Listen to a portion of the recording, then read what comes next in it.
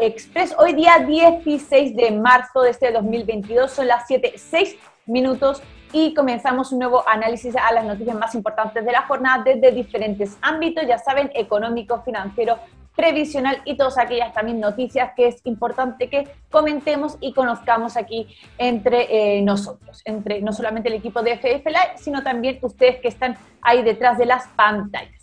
Como siempre, saludar a todas las personas que se están conectando a través de nuestras diferentes redes sociales. Ya saben que tienen una amplia variedad de plataformas donde ustedes pueden elegir donde más les convenga conectarse. Y también, bueno, saludar, como siempre, siempre lo dejo para el final, pero hoy lo voy a hacer al principio, saludar a Radio Isla FM 95.9 del dial desde Pichilemu para toda la provincia de Cardenal Caro, que además de todas nuestras redes sociales también se suman como cada tarde a las transmisiones. Así que para todos los radioyentes también les mandamos muchos saludos.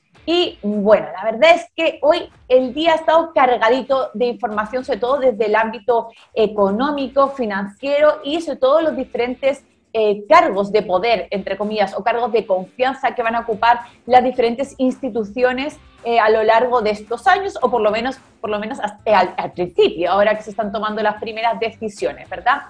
Pero eh, también ha habido noticias en el ámbito del quinto retiro. Toda la semana prácticamente lo llevamos comentando porque no dejan de haber informaciones con respecto a esta propuesta de nuevo proyecto que ya hablamos desde el lunes que ingresó el diputado eh, René Alinco. Y de eso vamos a empezar hablando hoy en el programa. Pero antes, como siempre, voy a lanzarles la pregunta del día para conocer su opinión con respecto a otro de los temas de la pauta. Y la pregunta es la siguiente. ¿Estás de acuerdo con la solicitud de renuncia al director del Servicio de Impuestos Internos, Fernando Barraza? A, sí, B, no. Y la pregunta, ya saben, por, sale por los dos canales de YouTube, también por Facebook y también por Twitter para que ustedes vayan seleccionando la opción que más les parece y además les invito a complementar su opinión a través de los diferentes chats. Ahí el equipo de detrás de las cámaras selecciona los mensajes y podemos comentarlos aquí en este Cultura Express. Como siempre, se agradece eh, sus comentarios y también que puedan compartir este programa. Muy rápido, muy fácil compartir, hacer clic en compartir en Facebook y también en YouTube, por ejemplo, pueden hacer like, eh, darle un dedito para arriba también y así nos ayudan a viralizar el contenido.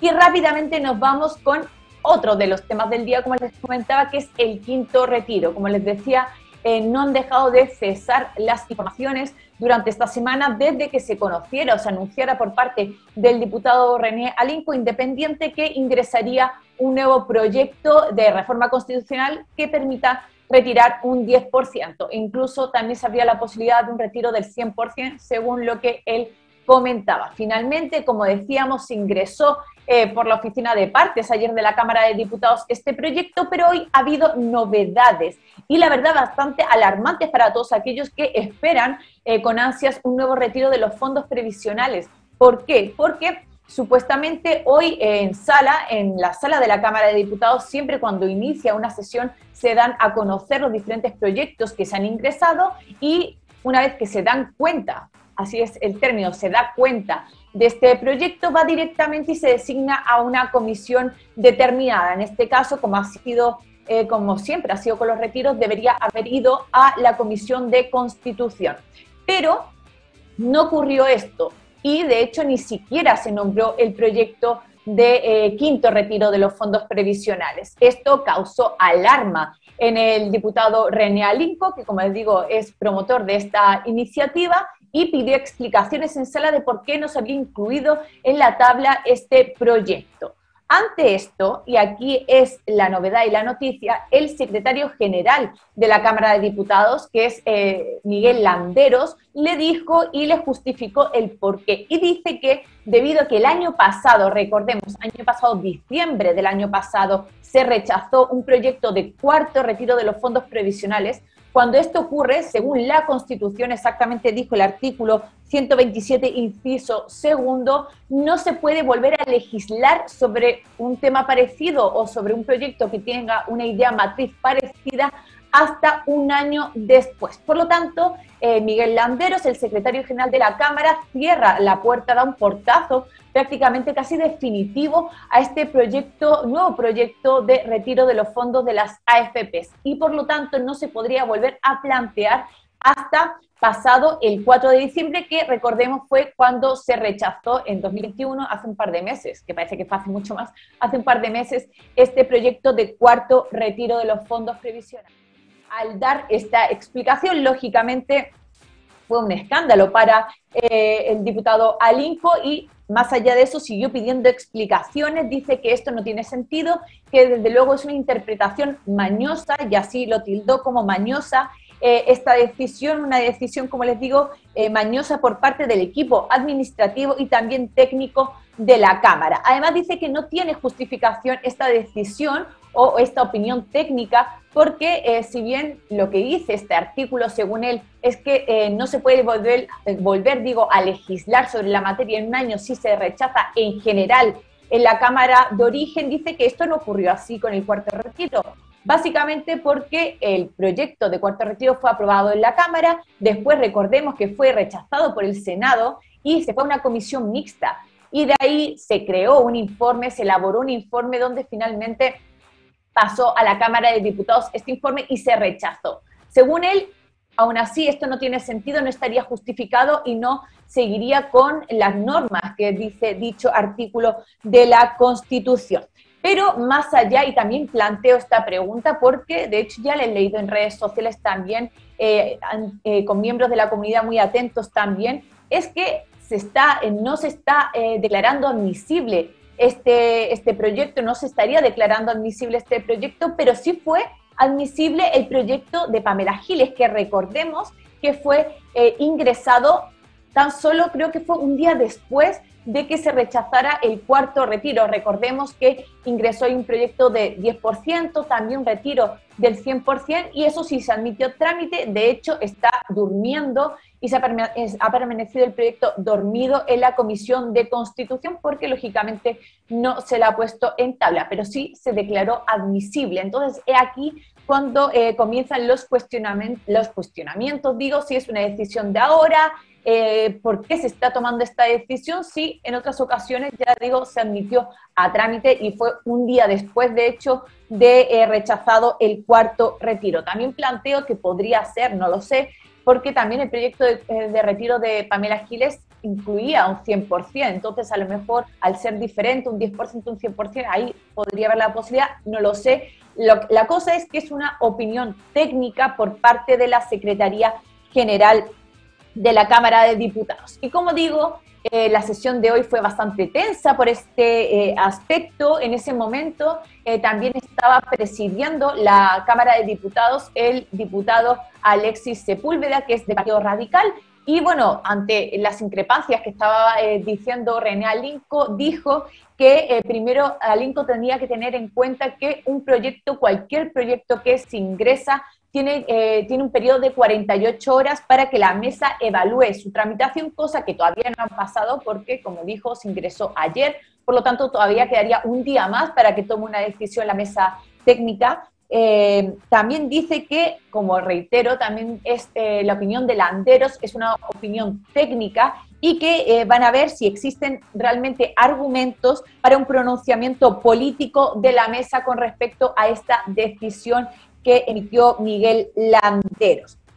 Pero las cosas no quedaron realmente ahí en la sala, esto escaló y fue mucho más allá y la verdad es que Renalinco arremetió contra varios diputados, entre ellos el actual presidente de la Cámara de Diputados, que es el diputado Soto. Eh, y bueno, Raúl Soto, recordemos del PPD y lo llamó y lo tildó de amarillento, porque dice que siempre eh, Raúl Soto apoyó los retiros del 10% hasta el día 11 de marzo, cuando fue elegido como presidente de la Cámara, que dice que posiblemente recibió un telefonazo, una llamada de cierto personaje o personero del gobierno y directamente apuntó a eh, Giorgio Jackson para que no se declarara admisible este proyecto, esta iniciativa de, quinto retiro de los fondos previsionales. Lógicamente, por alusiones también salió a hablar eh, Giorgio Jackson y dijo que la decisión que ha tomado la Cámara de Diputados es una decisión totalmente autónoma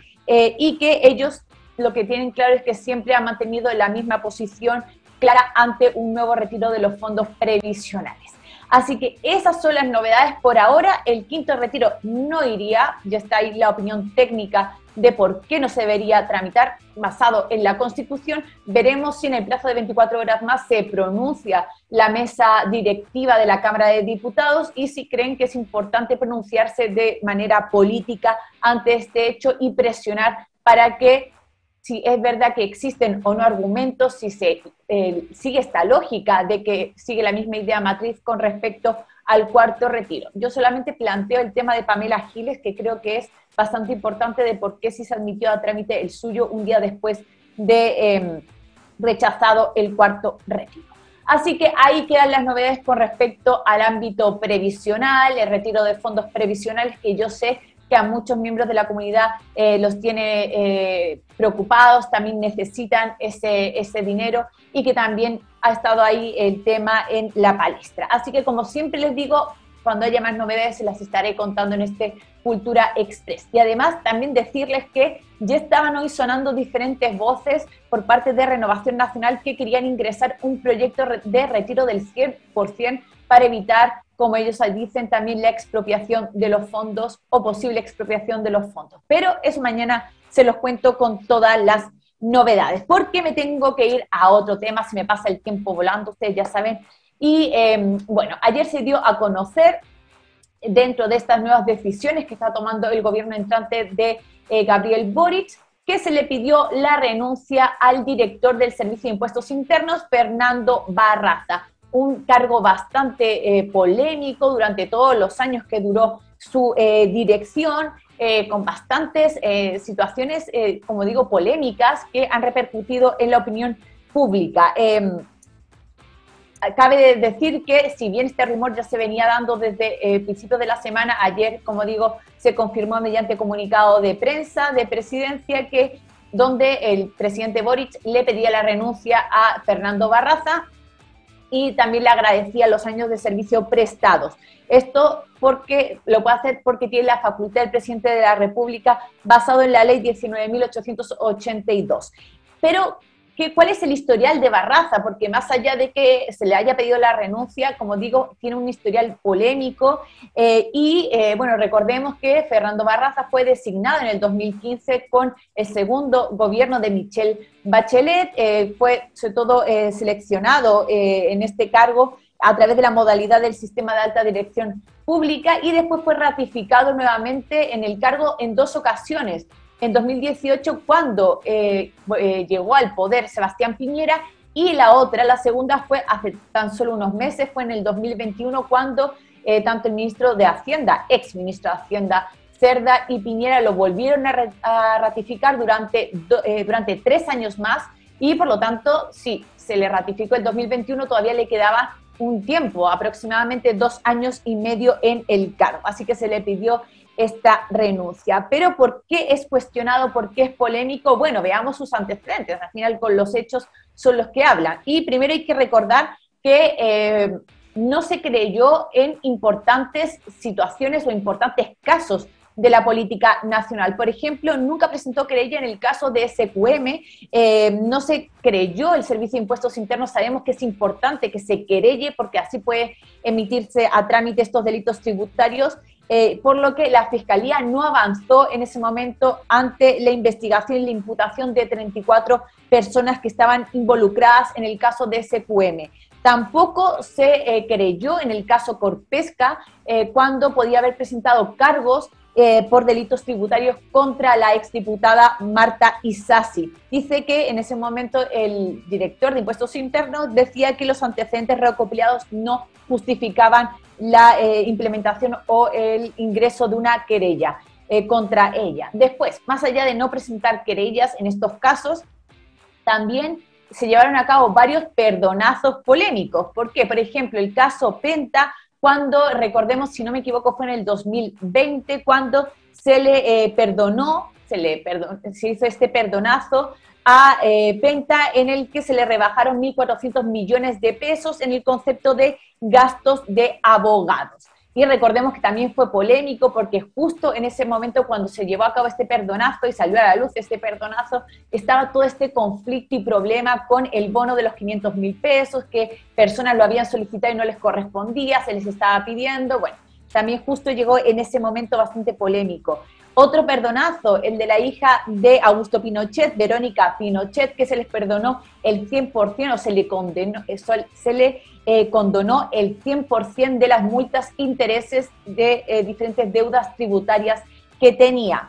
Después también, casos que hemos comentado aquí, él no asistió en el caso, en la comisión investigadora por el caso Triangulaciones, se le citó para que fuera a declarar a esta comisión por el caso Triangulaciones. Eh, se le citó porque él, a ser un funcionario público, estaba obligado a ir y nunca fue, tampoco nunca respondió, por lo que también faltó a sus deberes como director del Servicio de Impuestos Internos al dar esta o acudir a esta sesión.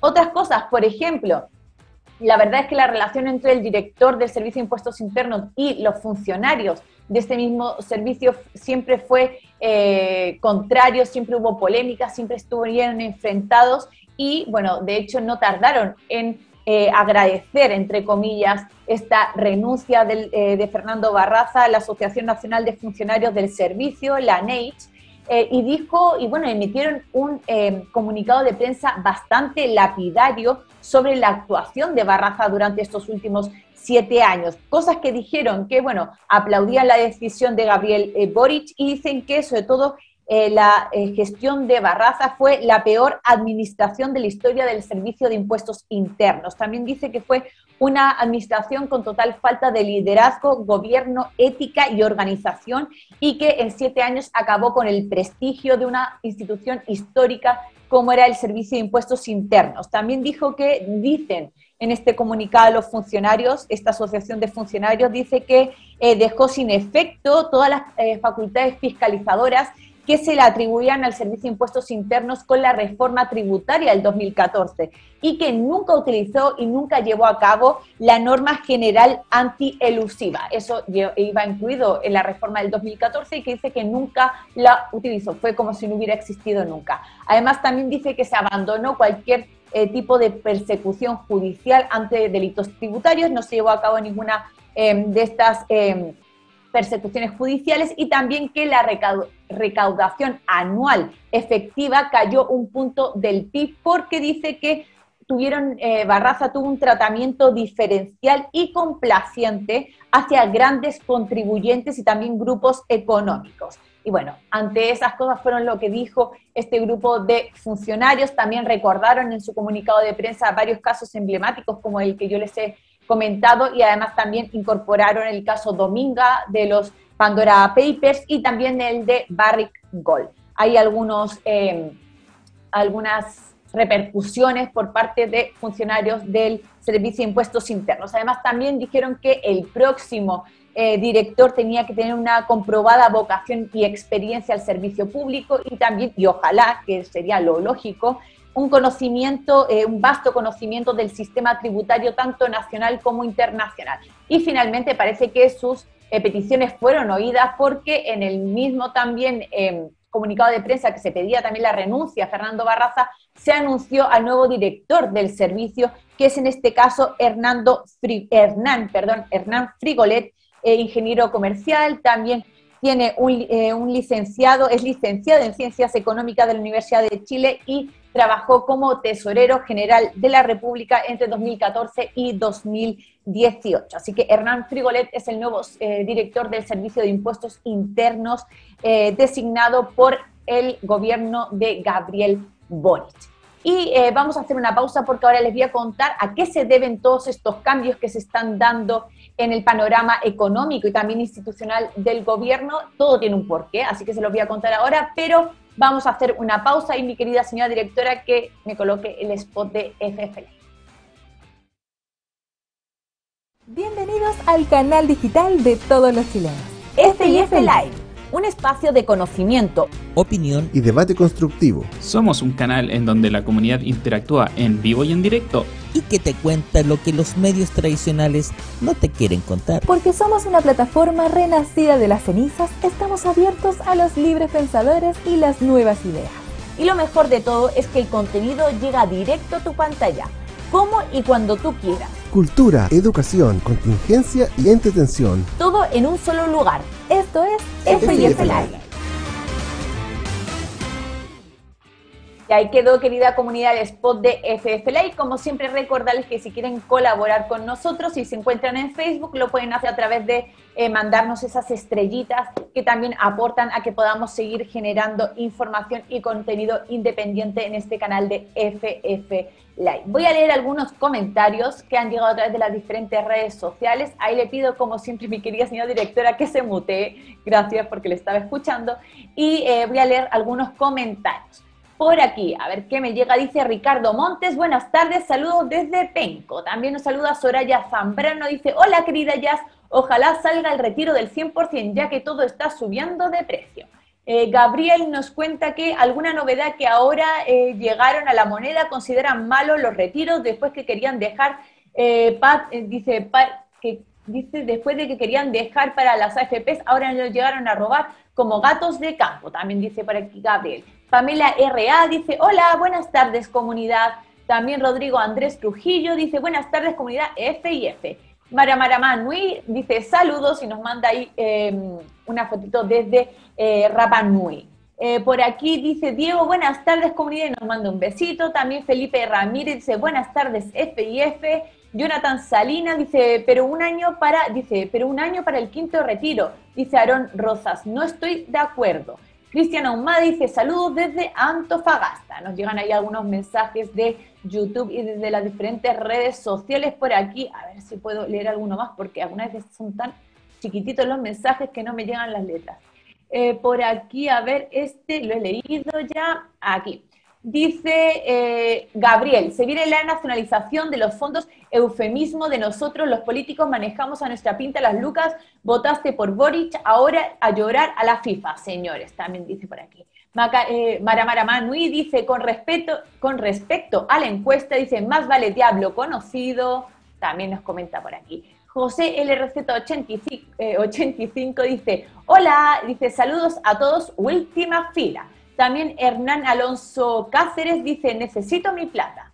Eh, Javiño dice, extraño las sugerencias. Lamentablemente yo creo que en estos momentos, querido Javi, las necesitamos todos, dada la situación que están viviendo los multifondos. También por aquí dice eh, Playaman, dice, hay que destruir las AFPs y que le den dinero a la gente. Son bastante y nos muestra ahí un zorrito, creo que es verdad, ¿no? Dice Luis Vidal, dice, vamos por el quinto retiro, el pueblo lo necesita, el dinero es nuestro, no de ellos. También Adriana Mondaca dice, hola Jazz, gran equipo FIF, saludos querida comunidad FIF. Silvia Jorge dice, que se vaya a Barraza.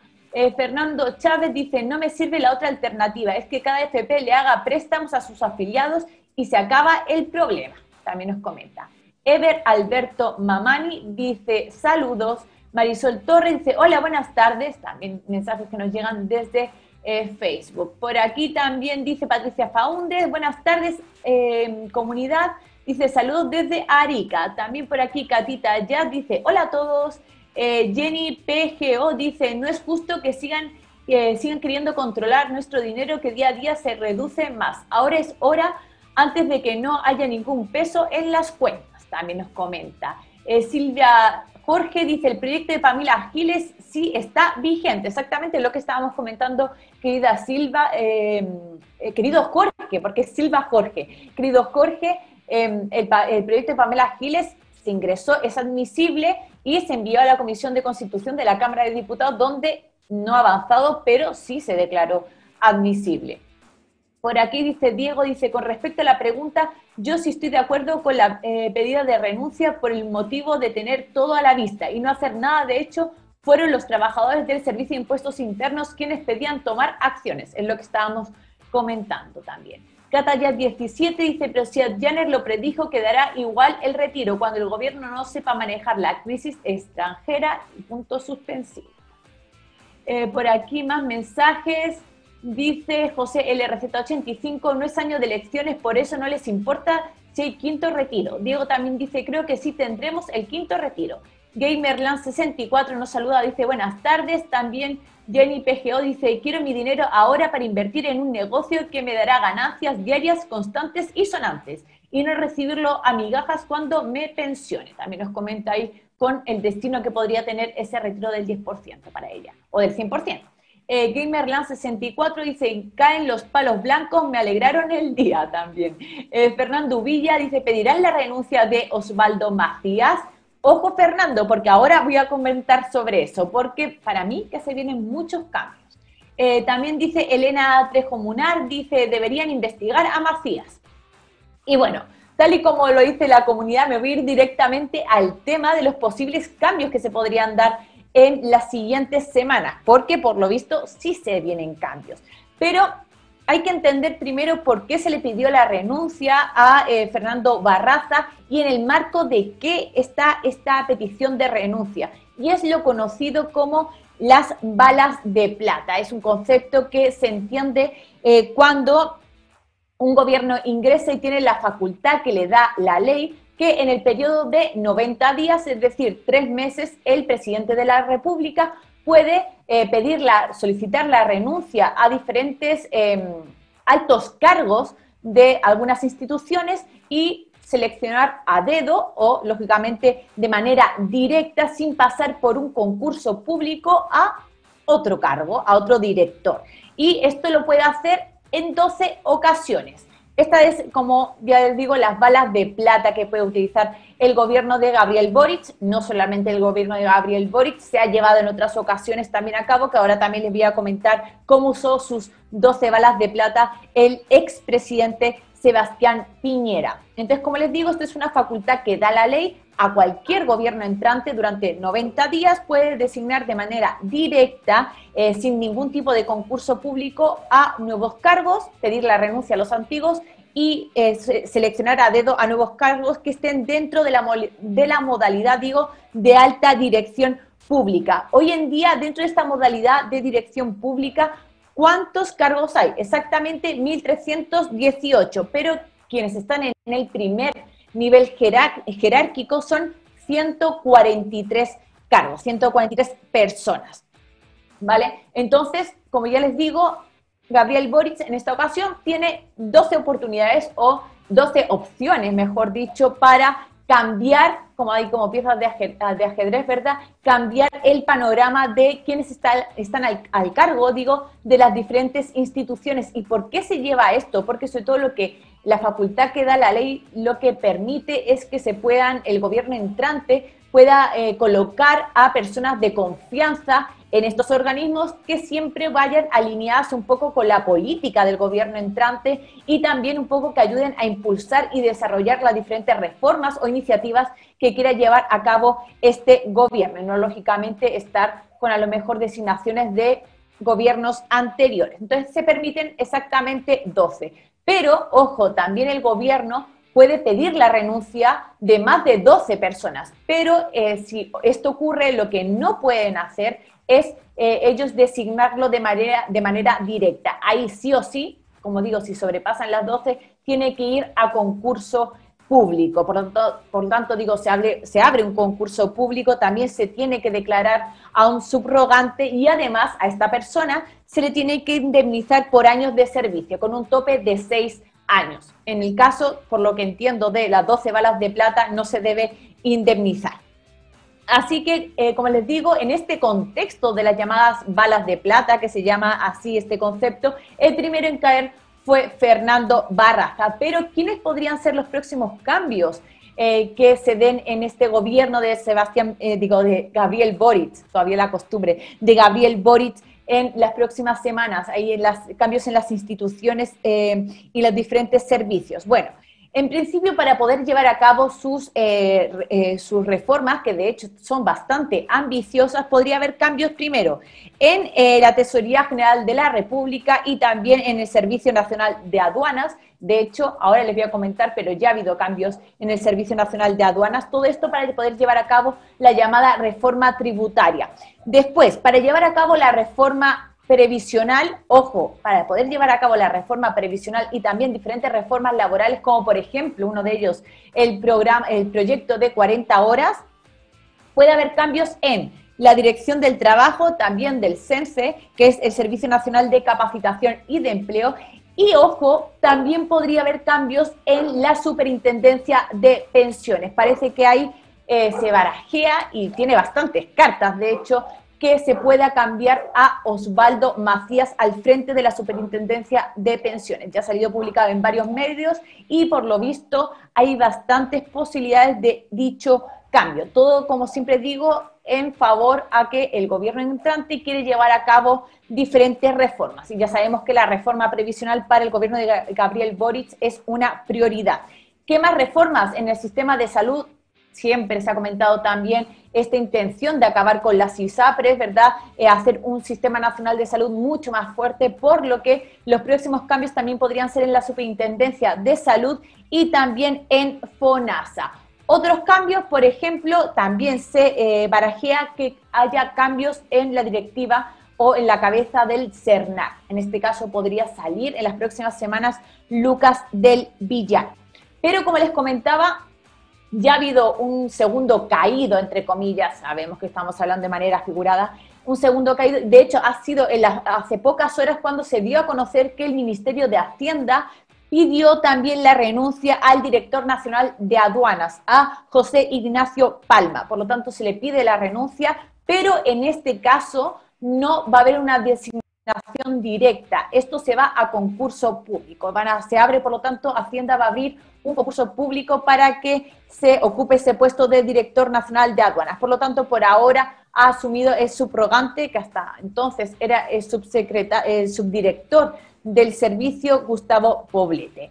Pero como les comentaba, esto no es una cosa exclusiva del gobierno de Gabriel Boric, que solamente se estén produciendo estos cambios en todos los mandatos. Eh, se dan durante estos 90 días estas modificaciones para llevar a cabo, como les digo, eh, estas reformas junto a personas de confianza.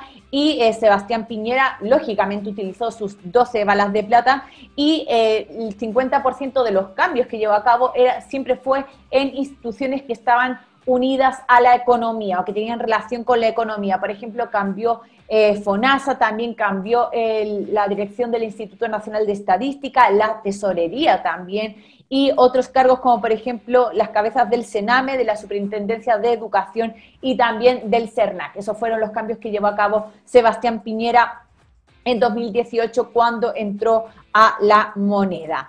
Más cosas también para ir terminando, que estas fueron las últimas novedades del día que se dieron a conocer, aparte de solicitar la renuncia de el segundo caído, como digo, que es el director de Nacional de Aduanas. También ha habido cambios en la, en la Comisión para el Mercado Financiero, también conocida como la CMF. Y esto es importante porque es una institución insignia también de, eh, del Estado todo lo que tenga que ver en materia económica y financiera. ¿Por qué se cambia? Porque, bueno, primero eh, se cambia de manera directa porque es facultad exclusiva del presidente de la República designar al presidente de la CMF. Es Joaquín Cortés, que era, es que hasta entonces estaba, eh, estaba trabajando como presidente de eh, la CMF, llegó hasta el fin de su mandato, que empezó en 2018 y llegaba hasta el 11 de marzo su mandato. Por lo tanto, Ahora la CMF quedará en manos de un hombre ya conocido, Solange Bernstein. Solange Bernstein, ya saben quién es, les sonará, es ex superintendenta de pensiones que ejerció este cargo entre 2006 y 2014 y además también eh, trabajó como jefa de estudios de la ex super eh, de AFPs, cuando se llamaba ex superintendencia de AFPs entre 2003 y 2006. Hasta ahora lo que se estaba desempeñando era como gerenta de, eh, de división política financiera del Banco Central y además también muy cercana a Mario Marcel, por lo que ya eran muchos los rumores que se venían escuchando de que posiblemente Solange Bernstein iba a ocupar ese cargo al frente de la CMF. Así que querida comunidad, váyanme comentando qué les parece todos, todas estas designaciones, como les digo, esto se va a venir eh, las próximas semanas, va a haber yo creo que mucho más cambios, yo creo que se van a ocupar esa facultad de los 12 cambios, ya por lo menos en dos días llevamos dos, así que em, veremos a ver quiénes son los próximos, las próximas renuncias, las próximas salidas y también las próximas entradas. Yo les he dicho eh, los servicios o las instituciones que más están sonando en prensa que posiblemente se lleven a cabo. Como les digo, entre ellas la Superintendencia de Pensiones. Pero coméntenme, ¿a quiénes sacarían ustedes? ¿A quiénes, por ejemplo, postularían en el cargo? Todo eso también eh, me gustaría escucharlo eh, de ustedes. Y además voy a leer algunos comentarios a ver si me han llegado a través de las diferentes eh, redes sociales, no tengo ni idea dónde me quedé, me quedé por aquí, creo, de los comentarios. Dice Rodrigo Didácticos,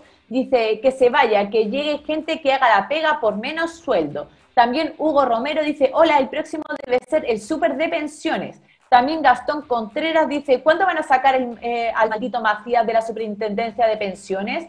David Dowie dice, buenas tardes, Yasmina, comunidad y equipo. También nos saludan por ahí en Facebook. Por aquí también dice eh, Ramiro Alejandro, mi necesidad para construir casa o comprar un terreno acá en el sur de Valdivia. Y nos cuenta qué haría con ese quinto retiro del 10% o del retiro del 100%, nos comenta ahí Ramiro. Diego también dice, eh, Macías es, el siguiente, ya lo veo triturando papeles antes de salir. También nos comenta Diego. Cristian Carvajal dice, si Boric se deshace, eh, se deshace de Macías, le hago un queque, también nos comenta. Felipe Ramírez dice, hay que garantizar el retorno eh, a las AFPs. También Clara Luz Pérez dice, con el único presidente que no nos hubiera robado era Lorenzini. También Gamerland64 dice, es hora de comenzar a presionar sobre la ley eh, mordaza de los fondos y poder volver nuevamente a la nueva normalidad, dice también. A ver qué más comentarios me han llegado por aquí. Dice eh, Sonia Reyes, Sonia Reyes dice, Macías fuera. También Enrique Pino dice, fuera Barraza. Y también como, eh, dice, también como nombran a Solange Bernstein favoreció a las AFPs, también nos comenta Enrique. Eh, por aquí dice Gamerland64, dice eh, eliminar el 4,1% de las cajas de compensación y derecho todo a salud pública. Mara Mara Manui dice, si sale Macías, que, que coloquen a Don Gino. También nos dice Catayas17, si fuera allí no diría no porque al final estamos sin F y F, porque los del Frente Amplio apoyaron eso. También dice Cristian Carvajal, dice usted, señorita presentadora, tiene ideas muy diferentes a las mías, pero es espectacular. Bueno, querida comunidad, se agradece el comentario que ha ido Cristian. Yo, la verdad, intento hacer, eh, dar la información de la manera más objetiva posible. De hecho, no suelo dar nunca mi opinión con respecto a los diferentes temas porque creo que también es importante que aquí se dé información lo más objetiva posible y que finalmente ustedes que están detrás de las pantallas sean los que comenten, eh, compartan y opinen sobre eh, lo que se quiere con el país, sobre las diferentes iniciativas, los diferentes proyectos o las diferentes circunstancias que estén ocurriendo. Eh, como siempre, aquí es un espacio, este Cultura Express, abierto a todas las opiniones. Mientras que se hagan con respeto, aquí no tenemos por qué opinar igual. Siempre se agradece que ustedes hablen sobre eh, los diferentes temas y ya saben, eso es totalmente la libre, libre expresión.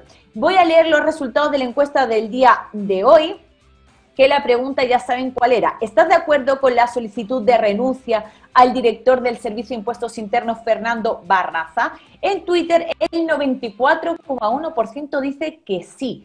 En YouTube de FF Live es el 94% también que dice que sí. En YouTube de Felices y Forrados Live es el 95% que dice que sí, mientras que en Facebook es el 88% que dijo que sí, bastante llamativa, eh, bueno, no llamativa, bastante homogénea, quería decir mejor, eh, la respuesta de la comunidad y de las personas que nos están viendo ahí detrás de las pantallas. Voy a ver si me llega algún comentario más. No, ya. Entonces me tengo que ir despidiendo, querida comunidad. Saben que se me pasa el tiempo volando. Eh, mañana nos vemos en otro Cultura Express. Como siempre, recomendarles que compartan este live para que llegue a muchas más personas. Y también no olviden en suscribirse a nuestros canales de YouTube. Muy fácil, muy sencillo. Suscripción en el cuadradito rojo y también activen eh, la campanita para que les puedan llegar las notificaciones de este programa, de otros y de cualquier otro contenido que subimos a través de nuestras diferentes redes sociales. Ahora sí que sí, me despido, nos vemos mañana en Rock Cultura Express a las 7 de la tarde. Les mando muchos besos. Bienvenidos al canal digital de todos los chilenos. Este y este live un espacio de conocimiento, opinión y debate constructivo. Somos un canal en donde la comunidad interactúa en vivo y en directo y que te cuenta lo que los medios tradicionales no te quieren contar. Porque somos una plataforma renacida de las cenizas, estamos abiertos a los libres pensadores y las nuevas ideas. Y lo mejor de todo es que el contenido llega directo a tu pantalla, como y cuando tú quieras. Cultura, educación, contingencia y entretención. Todo en un solo lugar. Esto es FIF FIF Live.